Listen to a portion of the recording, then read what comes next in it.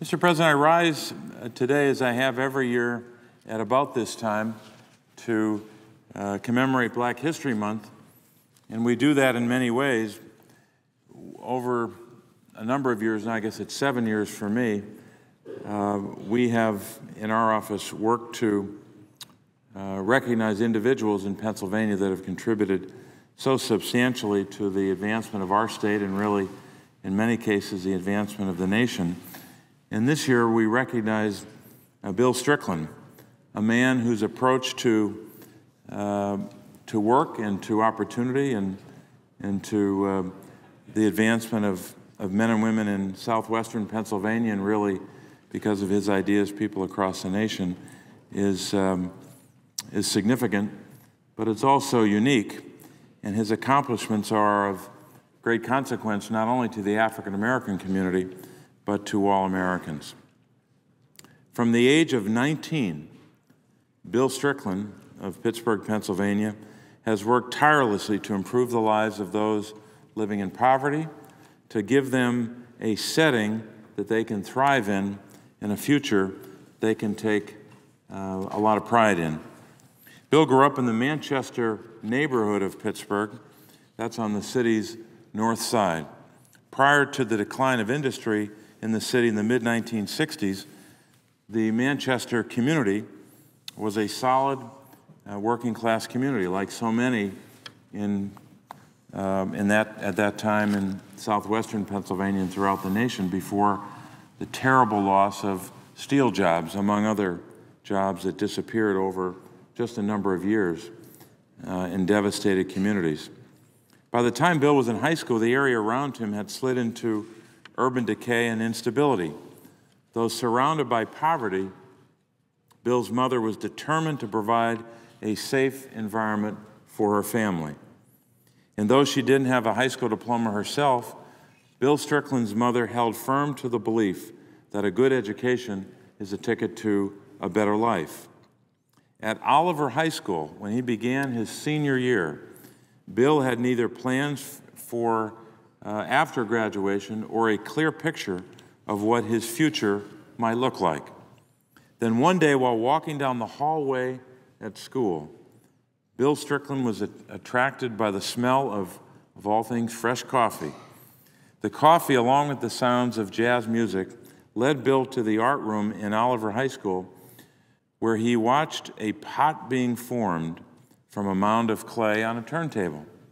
Seated at the potter's wheel was Frank Ross, Oliver High's art teacher, who would become Bill's close friend and mentor. Over the next year, in the calm atmosphere of Frank Ross's well lit art studio, Bill would develop a talent for ceramics. As importantly, it provided a safe and stable sanctuary from the chaos of the streets. At the potter's wheel, Bill Strickland found his passion. And although he didn't know it at the time, he was forming the beginning of a vision that would become Manchester Bidwell Corporation. In 1967, Bill graduated from Oliver High School and at the instance of Frank Ross, applied to the University of Pittsburgh, where he was accepted, but only as a probationary student. Although he had begun his studies full time, Bill never lost the connection with his neighborhood. In the summer of 1968, as Manchester grappled with the racial tensions that swept many inner cities, Bill Strickland decided to open an art center in his neighborhood. He had seen, a, he had seen the power that a bright, orderly, safe place like Frank Ross's studio and the artistic work done there had on his own life. He wanted to give the young people of Manchester a place where they too could escape the effects of economic and social devastation and experience something beautiful. A conversation with a young minister working in the area led Bill Strickland to his first $25,000 in funding in the Manchester Craftsman Guild was born as an after-school art program in a donated row house on Buena Vista Street. It was not an overnight success, but Bill never gave up. When the young people in the neighborhood weren't immediately taken with ceramics, Bill redoubled his efforts, hitting the streets to reach out to as many people as he could and bringing them to his center. People noticed Bill's efforts, and the popularity of the guild grew. As more people came to the center, the center needed more clay, more wheels, and Bill started to secure more funding. Along the way, an interesting phenomenon occurred. Teachers began noticing that their students who regularly went to the guild were doing better academically and behaving better in school. Without intending to, Bill had stumbled across a simple yet empowering philosophy, and it is this environment shapes people's lives. By providing a safe space for young people in Manchester and by introducing them to the beauty of the arts, Bill was simultaneously inspiring a large scale change in his community. Despite starting as a probationary student, Bill graduated from the University of Pittsburgh cum laude with a BA in history in 1970. He continued to work at the Manchester's Craftsmen's Guild, and a few years after graduation, he began, he became, I should say, director of the Bidwell Training Center, a school whose mission was to provide education in the building trades to disadvantaged and dislocated workers. When Bill assumed his role as head of Bidwell, what he discovered was a dilapidated warehouse in a parking lot and a $300,000 back tax bill from the IRS. But Bill saw its potential and didn't give up. He began to transform Bidwell into a forward thinking school that offered his students a real chance to dramatically improve their lives. He realized that the, he realized that the changing job market required less focus on construction trades and redirected Bidwell's focus to the high tech and medical industries. He also forged important partnerships with corporations like IBM, Heinz, and Bayer to design curriculum that would train the workers that needed employment and, and the workers that employers needed. While he worked to improve the staff and the quality of the education, the nature of Bidwell's funding meant that Bill could not address what he saw as one of the institution's central flaws the building itself. While funding for social projects was harder to come by in the 1980s, Bill was forced to lay off nearly one third of his staff just to make payroll. But despite this setback, in his own eyes, Bill's vision was clearer than ever. He realized that what he needed to make Bidwell succeed was a center where students, faculty, and neighbors could be proud, or I should say, of which students, faculty, and neighbors could be proud. To achieve his dream, Bill contacted legendary Pittsburgh architect Tasso Katselas. And Tasso was a student of Frank Lloyd Wright. Uh, to design, he asked him to design a world class center in one of the worst neighborhoods at the time in Pittsburgh. For $10,000, Bill commissioned the architect to build a model of what would later become the home of Manchester Bidwell Corporation, as the combined programs of the Manchester Craftsman Guild and the Bidwell Training Center would come to be known. Bill had a vision for his building and the conviction that the future of his cause lay in its construction. Just as he had done before, Bill took it upon himself to turn his dream into a reality and spearheaded a $6.5 million capital campaign. Model in hand, he employed the Pittsburgh corporate community to fund his dream. When the, when the city's corporate donors, who had supported him previously, told him that Manchester didn't need a spectacular center, he told them in known uncertain terms that it did. When he was told he needed matching funds to obtain his corporate pledges, he turned to the Commonwealth of Pennsylvania for additional support.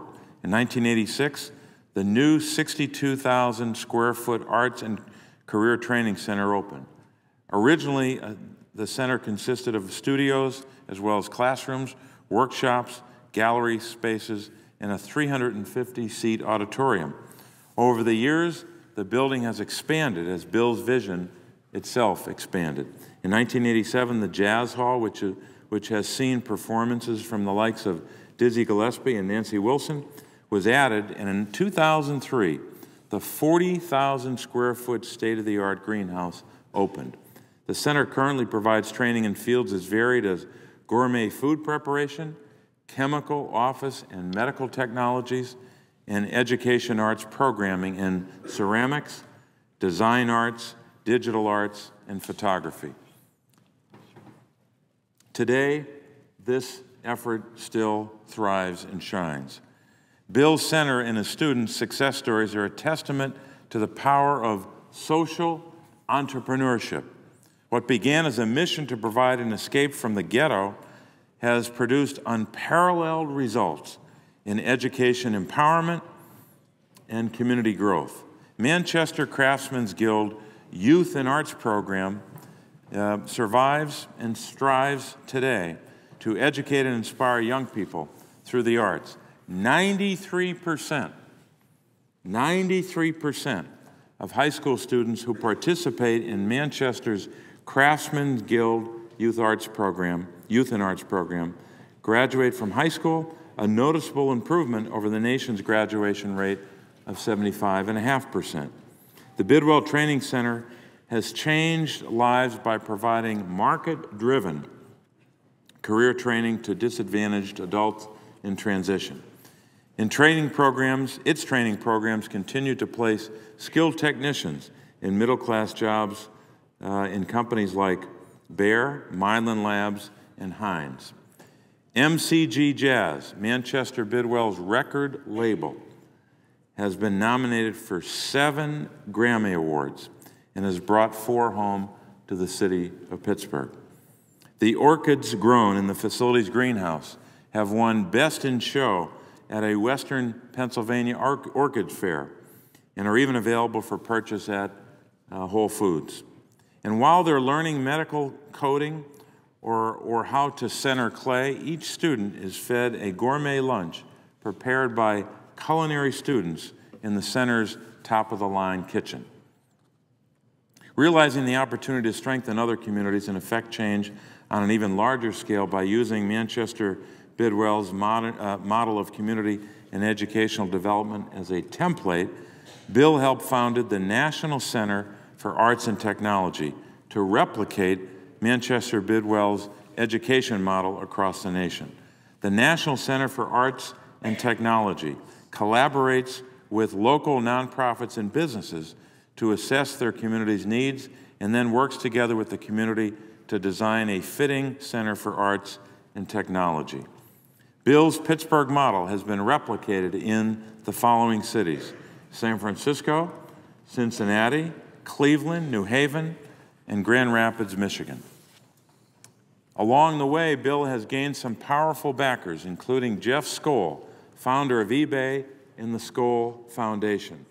The Skoll Foundation was one of Bill's earlier investors it recognized the potential of his programs to drive large scale positive change by using entrepreneurial discipline and methods. With the Skoll Foundation's help, Bill clarified his sales pitch that he could help solve problems faced in communities and had a strategic plan showing the benefits of working together and offering people meaning and hope through transforming experiences. Bill Strickland has said that, quote, environment determines behavior, unquote. And he has created a remarkable environment where men and women living in poverty are treated with dignity and respect. Knowing firsthand that poverty creates self defeating assumptions and restrictive labels, but does not define a person's potential, Bill Strickland has dedicated his life to changing the lives of others by offering them hope meaning and belief in the power of their own creative possibilities. Bill's methods might be unconventional, but his results are success stories of epic proportions. And so in the Senate today, we express our gratitude to Bill Strickland for never giving up on poor kids or his vision for what they could be.